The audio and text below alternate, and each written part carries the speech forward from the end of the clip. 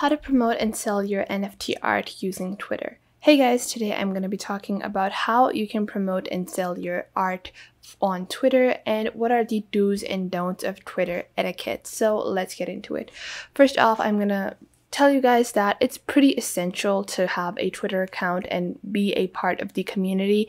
Right now, if you want to promote your NFT, Twitter is going to allow you to build a community to promote your products to and a community that is actually interested in your work. So over here, you can see I have followed a bunch of creators that create NFTs and influencers that are very influential in the NFT market right now. And having a being a part of this kind of community is pretty essential now because investors are not going to invest in you if they have no clue who you are or what you're doing. They want to see that you're an actual person that is actually creating this art and that you have a creative mindset behind it. So that is why I suggest that you join the Twitter community for NFTs.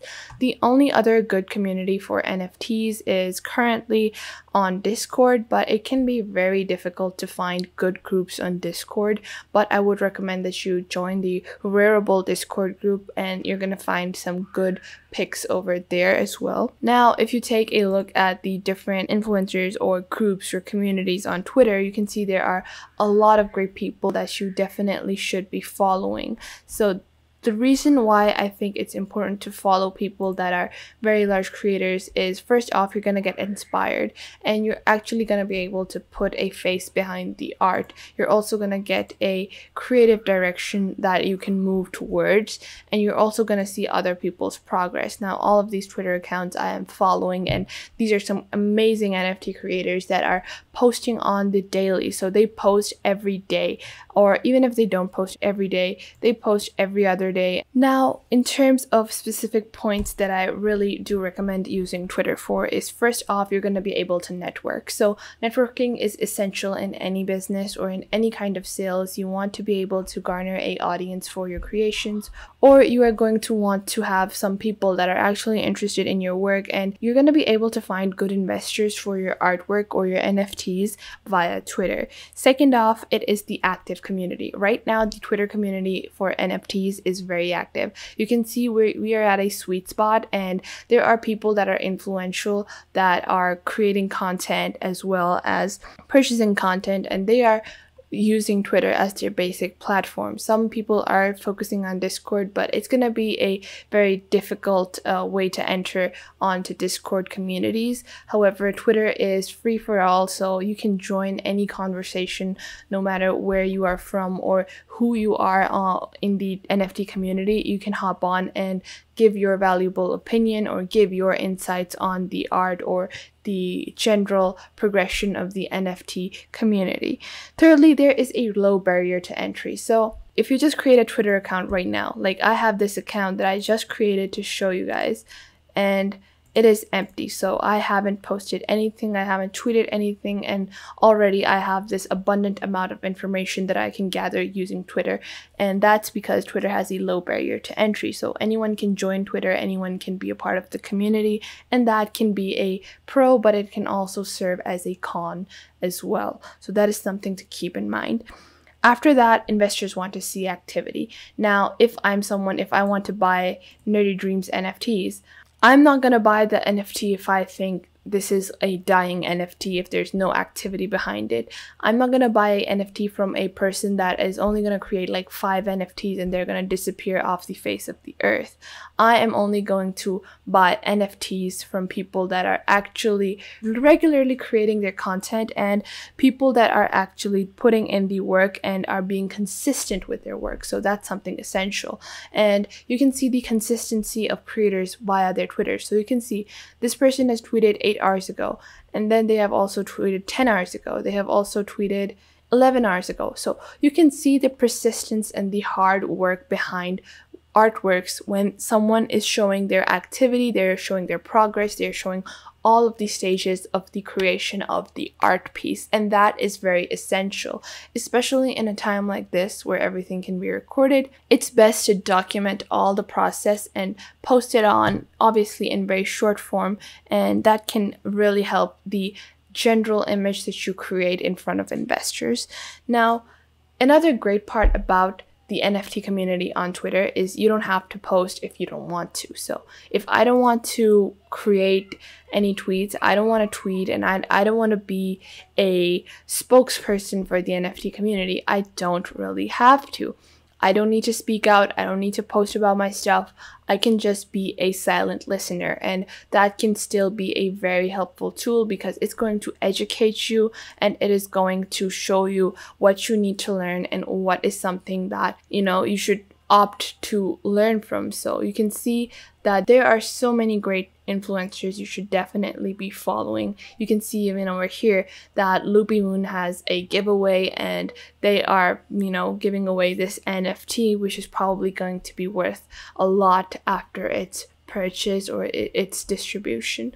And you can see everyone on Twitter is posting as regularly as they can. And now, for tips on promoting your own NFTs, first off, keep a 80 to 90 ratio on your profile. So you want 80% of your tweets to be in a week. So in a week, you want 80% of the tweets to be regarding your opinions, your uh, thoughts, your views, your feelings on something. And then 20% can be your own promotions. You're promoting your own NFTs or anything regarding to your own content. So you don't want to smack people with promotions every day, every day and tell them, "Oh, I'm making a new NFT. Oh, my NFT is doing this." I'm you don't want to do that because people will unfollow if they feel like the only thing they are getting from you is promotions and advertising. Also, things to keep in mind when you're creating your NFT uh, community on Twitter is don't post crap don't follow fake influencers. And now you might be wondering what are fake influencers? Well,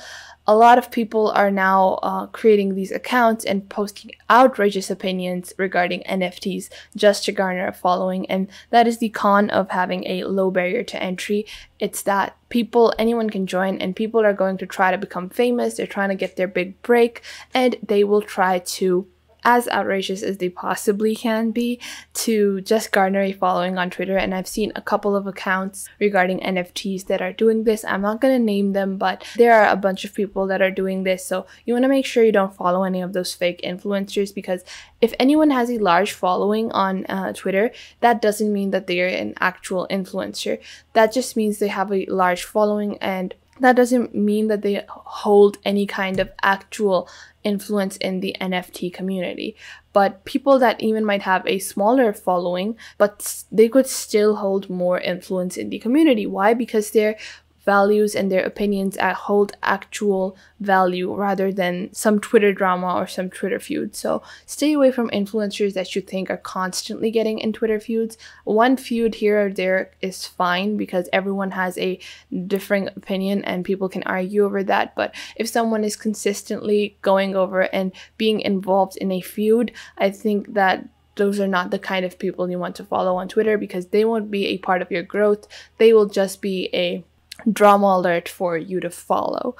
And obviously, anyone can tweet, so keep that in mind when you see these random people tweeting about uh, NFTs and their opinions might not hold any value whatsoever. So that's something to keep in mind.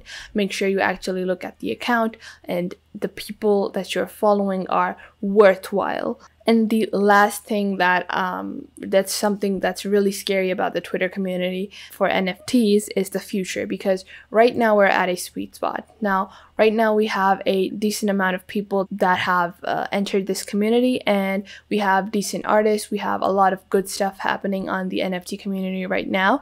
But in the future, I think more people are gonna jump on the bandwagon and the community is gonna be messed up. So right now it's a good part to join but eventually i think with time most people are to shift to more private discord servers or a separate nft platform to discuss their nft goals. So that's something to keep in mind that twitter isn't going to be forever. Now another thing i like about Twitter as a platform to use to promote your NFTs is that you can get useful accounts altogether. So for example, if I want to follow certain accounts and I want, you know, if they're posting NFT news every day and I want to follow up on them, I can just go to their profile, click on these three dots.